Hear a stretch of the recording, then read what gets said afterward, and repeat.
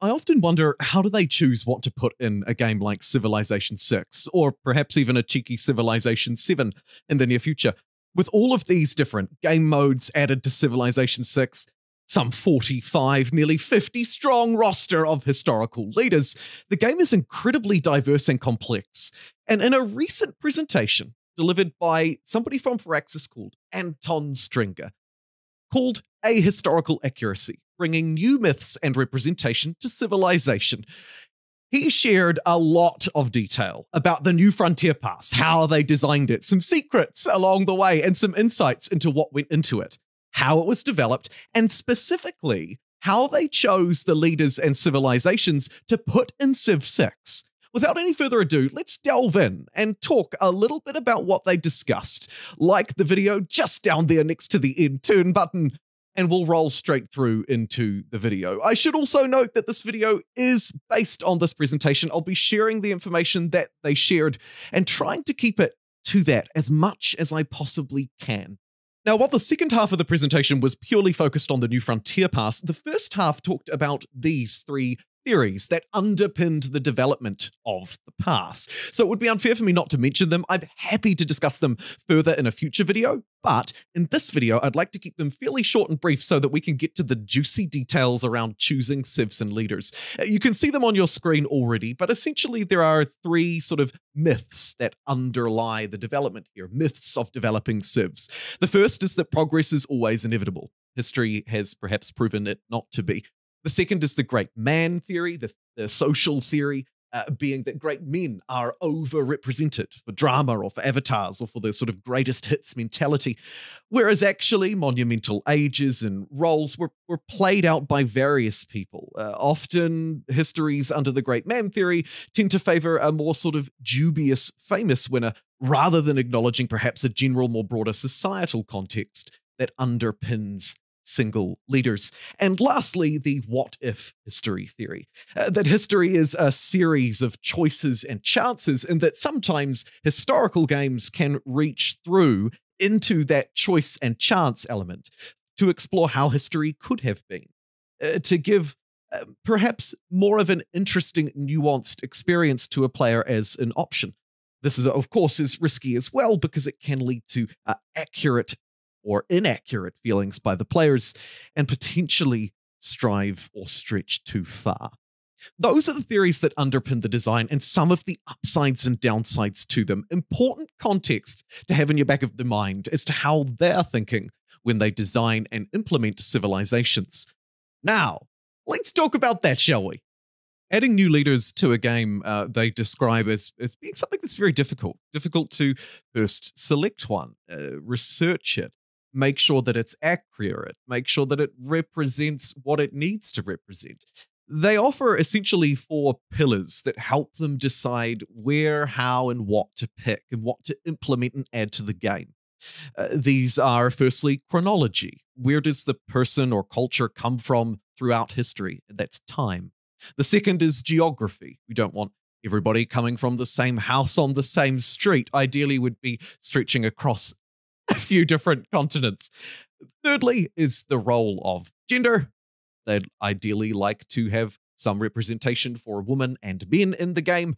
And lastly, play styles. So, what historical persona, personality does this person, this character have?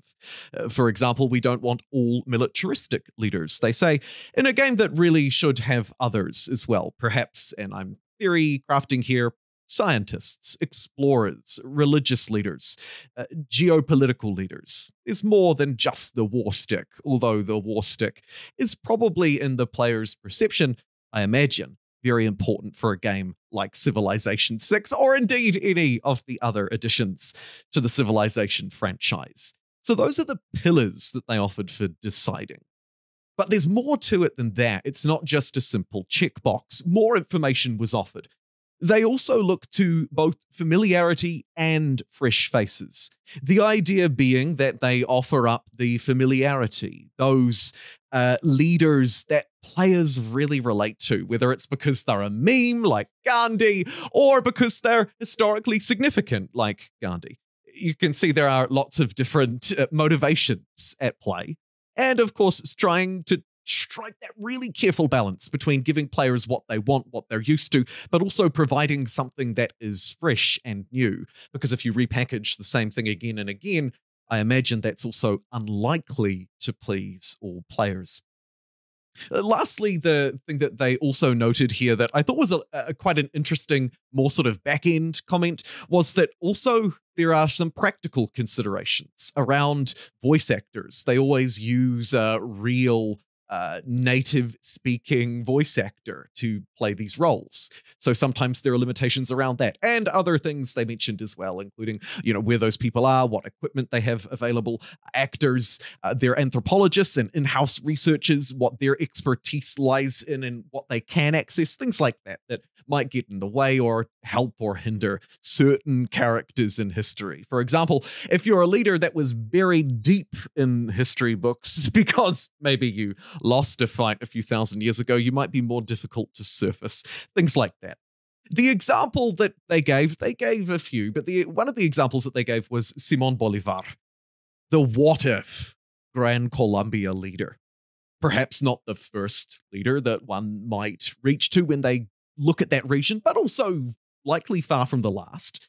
A leader also that incorporated one other thing that they talked about in this section, and that was that they also wanted to try and bring different histories in. And this sort of touches on something that I've just mentioned. And what I mean specifically by this is that it shouldn't always be the victor. Uh, and the thing that they note is not that they should go back necessarily and find the worst people in history. It's not about good versus evil, but rather victor versus oppressor. So there may be leaders in history who fought against the oppression of a people, the enslavement of a people, but ultimately lost that fight. That was the specific example that they drew on. But I acknowledge that there's probably some murkiness here around who decides what. And in similar videos like this that I've made before, that's often something that comes up, that there's sort of a judgment call underneath this that's being made.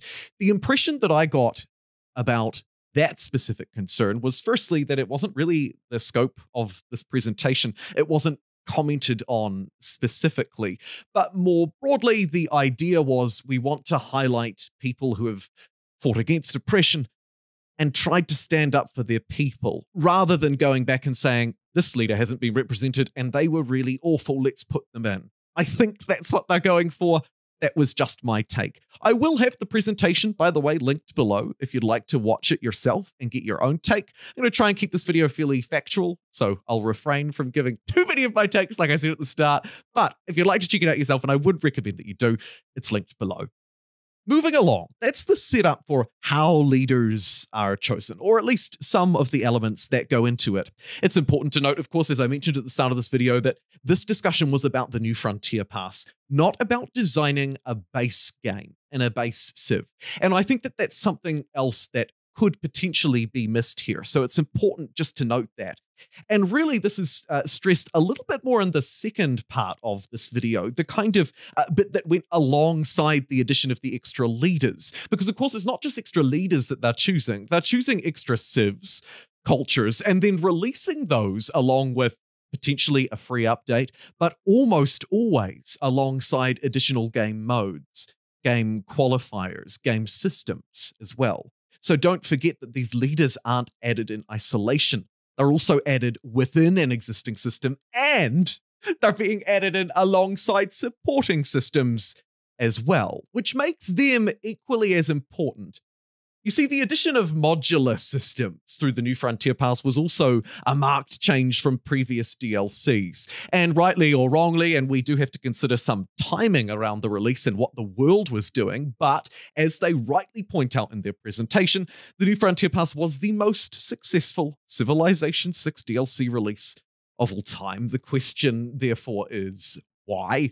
Again, it could have been to do with the release period and everybody being stuck at home, but the design philosophy of the new Frontier Pass, as pointed out in the presentation, was more about des- uh, designing in line with players, taking on player feedback. They surveyed very broadly. They wanted to release six paid and then six free updates over the course of nearly one calendar year between May 20th and May 21st to keep players engaged, to increase the number of active players, and thirdly, to test these myths. Again, as I mentioned, at the start of the video, the presentation was all about bringing new myths and representation to civilization. And the New Frontier Pass is obviously the perfect testing ground and case study for that, and one that they argue turned out to be a fairly successful, in fact, the most successful one of all time, despite Civilization 6 being some four or five years old. It somehow managed to outperform even the first two initial DLC releases that released, you know, within the first sort of two or four years of the game, particularly actually that earlier phase around year two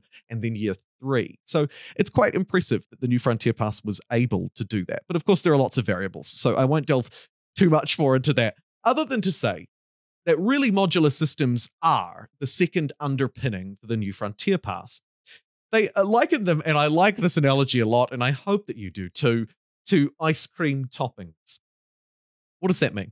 Well, we have a base game, Civilization 6, with some DLC and expansions added onto it, adding extra features like the natural wonders, for example, the disasters, loads of great things that were added into the game as core features.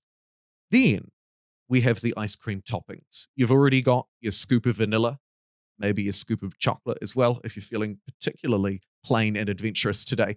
And now you're adding your toppings on top. That's the extra game modes that New Frontier Pass added. That's the extra leaders that the New Frontier Pass added. And specifically here, the modular systems. And uh, there are a couple of really great examples of how these modular systems, these pieces, can be added on top of games, individual playthroughs that you or I might play through, but also the broader franchise and everything that already exists within it, all the leaders, all the modes, all the maps, etc. And how these different modular systems, these pieces, can be shifted around to create entirely new or at least somewhat more random experiences, again adding more intrigue. Not only is it interesting to have a modular system like let's use secret societies as an example added into the game, but then how does that system interact with the one that was added in the last update? How will it interact with the one that's added in the next update? How does it play out with all of the existing civs? You see, it opens up a lot more opportunity when you add the modularity on top rather than forcing it into a system that, or a game that, in this case, may have already been generally considered to be quote unquote finished, right? The base game is done.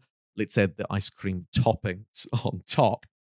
Secret Societies is a great example of this, and also leading back to that testing myths, that idea that history is perhaps also about the what if, or at least history games are. Of course, there's always going to be an element of randomness and creativity in these experiences.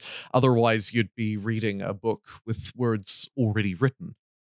So then, if we are engaging in a little bit of what if history, where a series of choices and chances can play out with a historical grounding, at least somewhat still based in it, i.e., historical leaders that are somewhat accurate feeling to who they were, or player driven narratives as well, they particularly benefit from this randomness and something that I personally really enjoy about games like Civ or Humankind, or of course something uh, much more engaged on this front like Crusader Kings 3 where we have the ability to tell our own stories. And here they argue as well that history isn't just a 4X to paint the map, to push other people away, but actually there's an element of storytelling that goes on around that. The secret societies, of course, also bleeds into that a little more when you think about how there are powerful entities outside of the player's control these powerful entities that we don't have direct control over necessarily as the player, but we can, as you'll see me do in this video, bring the secret societies into our fold, or at least attempt to join them. But there is that area of uncertainty to it. There are also later diplomatic consequences that come from joining a secret society potentially. These are elements of slight randomness, slight chaos, and things that are slightly outside of the player's control. They also aren't 100% historically accurate, building on that myths and legends, that representation, that new myth that new myth that Anton talks about so readily. I should note, by the way, that Anton has some 10 years of development at Firaxis, working right the way up to lead designer, but also fitting the role of designer, programmer. He, talks a lot in the presentation about how at Firaxis they're fairly fluid with their job positions. One minute they're programming, next minute they're theory crafting and designing, and then they're back programming it again. A very sort of hands on approach to different stages of development rather than a more segmented fractured system. However, of course, let's also remember they're a big company doing a lot of things. The new Frontier Pass was incredibly detailed. And to counter that point, he also talked a little bit in the presentation about how uh, somebody could be working on one piece of this pass and then somebody else could be working on a very different piece releasing months later. So, yes, it's uh, concrete and together, but also fragmentation and difficulties there as well, I think. Or at least that's the lessons I could glean out of the presentation. Lastly, on the modular systems uh, thing, there are actually two more pretty good examples that I think stress not only how the new Frontier Pass was designed, but also how we might start to think about how we could use this as inspiration or how Firaxis may be using these design lessons as inspiration for their next release, whatever it may be. I've still got my fingers crossed and my toes and eyeballs for a Civilization 7 announcement this year. We are getting closer towards announcement season starting in June and moving its way through. So who knows what we could see. Uh, the first was the Bermuda Triangle in Civilization 6. Again, not really a real thing but also has a social connotation to it, a role in history, myths and legends. I'm sure many people would perhaps even believe it to this day. Uh, the Bermuda Triangle in Civilization 6 essentially operates as a one way teleport on the map, a natural wonder that a ship could go into, receive a movement bonus for the rest of the game as a result, and be teleported somewhere randomly across the map. Again, it adds to that player storytelling. It tests the role of myths and history, and a, a little bit, and to a certain extent, builds on that what if history. In fact, a little bit would be an understatement. What if the Bermuda Triangle were real? What if it does exist? Is essentially what that is testing, and doing it in a really interesting way. I'm sure you can think of many things in the New Frontier Pass that fit this design philosophy that fit Firaxis's most recent design philosophy, because let's not forget that's what this is. The new Frontier Pass came out just a little over a year ago. It is the last content release that we've seen from Firaxis in the Civilization franchise. So, if anything is going to encourage or lead or inspire future inspiration for a development of a Civ 7 or whatever the next release will be, because you can bet your backside there will be one series is unlikely to just be drying up as we speak. Although, as time ticks on, no, no, no, no. The series is alive and well. And I think that there are probably some lessons that we could take from what we've discussed today as we conclude and think ahead to what civilization might hold for us. First and foremost, let's think about exactly what we've covered. So we know that the design philosophy behind the new Frontier Pass, the most recent content release Civilization 6, the most recent DLC that Firaxis have produced of any kind, was sort of featured around three goals around attracting players, around engaging with players, keeping them engaged and interested in interacting with the community so that they could get better value and feedback from them, among many other things. And of course, lastly, to test those myths, to test the what if history, the randomness, that slight element of chaos and unpredictability that was added to the game through testing those three myths that we talked about at the start. That progress is always inevitable. It is not. Look at Dark Ages, look at Rome. The great man theory. Are there other roles that we could introduce? Not just talking about adding female leadership into the game, but much more broader than that around the broader institutions or organizations or societal pressure that underpins great change throughout history. And of course, what if Gilgamesh were a space spaceman? Or that fantasy element that does have a role in a game like Civilization. The extent to which, though, is of course up to you. Ultimately, I think that we should expect these design principles to be tested when a baseline is established. That was also another key finding from the presentation. Don't forget, the new Frontier Pass was an extra, an addition. There must still be a baseline. There must still be, and they acknowledge this, the role of familiarity, the role of the greatest hits, the drama that comes from having someone like Gandhi, Khan, Queen Elizabeth, Washington, these familiar names to a franchise and you'll have familiar names for you as well. But of course, you'll also have familiar names for your own lived experience, just like I do personally. And again, not to get too personal in this video, I love seeing New Zealand in a game. It really warms my heart. I'm from New Zealand and I like to see me in some way. It's cool, it's fun. And I can see why that would be fun and appealing to all players across the world too. Thank you very much for watching. If you'd like some more discussion like this, I could happily provide it on the first part presentation, which was so interesting too. But other than that, I will end this video here. Thank you for joining me, and I'll see you next time.